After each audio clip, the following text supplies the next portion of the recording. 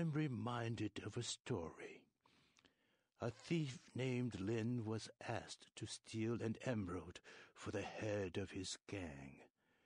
The gem belonged to a man in a Hong Kong triad.